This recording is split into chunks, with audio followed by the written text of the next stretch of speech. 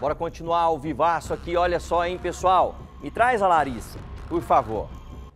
Estão presos suspeitos de assaltar adolescentes.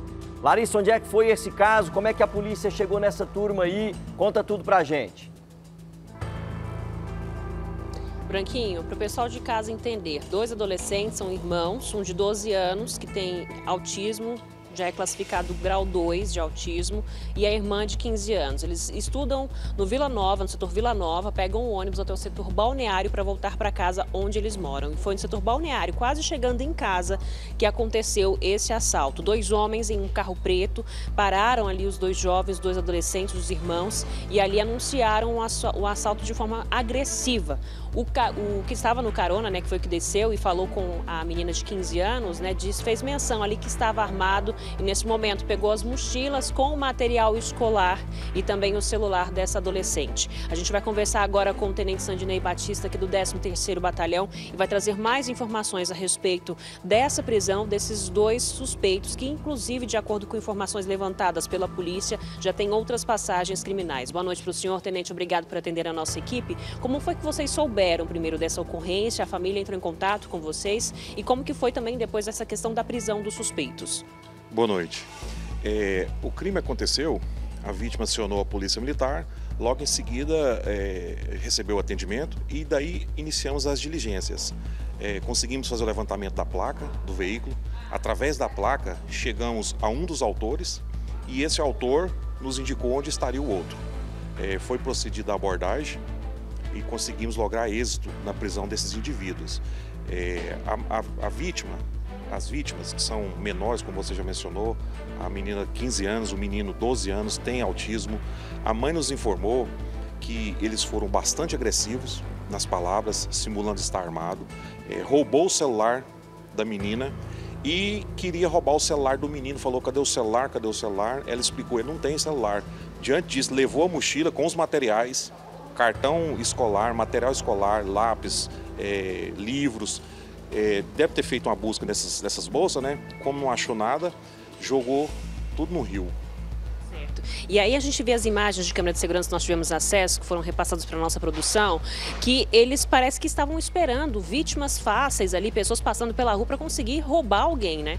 É, aproveitando da, da situação, né? À noite, uma rua um pouco escura, é, eles praticam o roubo, dá uma ré no veículo e sai em alta velocidade. Eles já têm passagens pela polícia? Qual a idade desses suspeitos? Foram presos no mesmo setor que a família mora? Não, foram presos em outro setor. É, um deles tem passagem por tráfico de drogas, homicídio e receptação. O outro tem passagem por roubo e receptação. As idades deles? As idades dele é 23 e 19.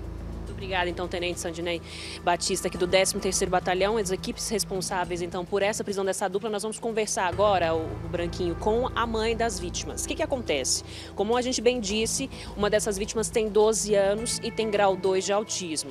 Imagine só para uma mãe, os dois filhos chegarem desesperados em casa com uma situação como essa, e inclusive o menino ficou totalmente ali, coitado, perturbado com a situação, com a agressividade desses criminosos.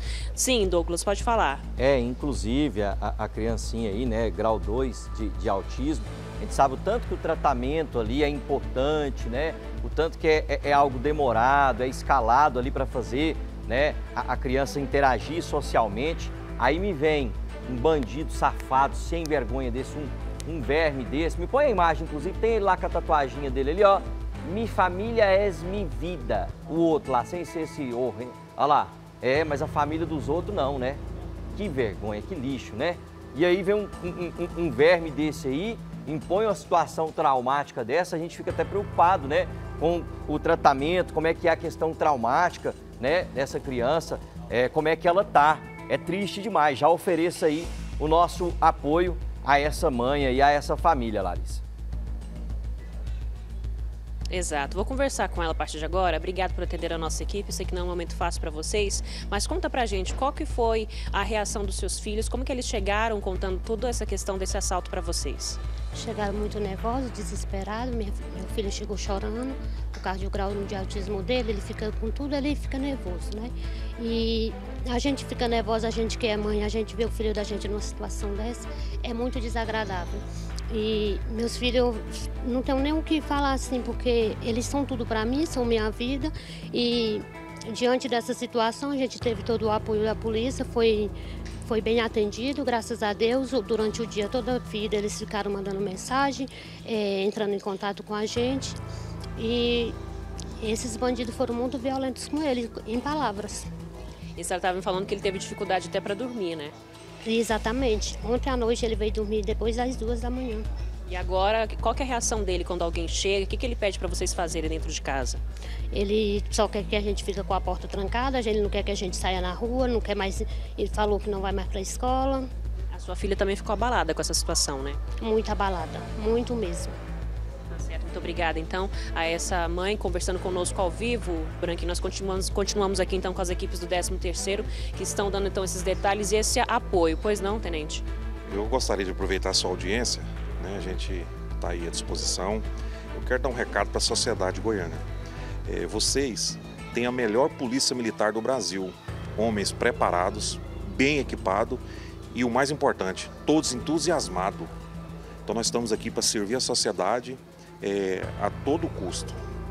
Muito obrigada e é bom a comunidade, a população ter então consciência desse trabalho então da Polícia Militar do Estado de Goiás. Eu volto com você, Douglas. Muito obrigado, Larissa. A gente faz esse reconhecimento, inclusive fala para o Sandinei, Tenente Sandinei, que eu mandei um grande abraço, não só para ele, mas para todos os policiais, né, lá do, do 13º Batalhão, que tem feito um grande trabalho numa região, né, que a gente tem um, um carinho especial, que é a nossa, que é parte, né, da nossa querida região noroeste. Um abraço aí para esses guerreiros. Valeu, Larissa. Um abraço também nessa manhã aí. Pode contar com o nosso apoio aí no que for preciso.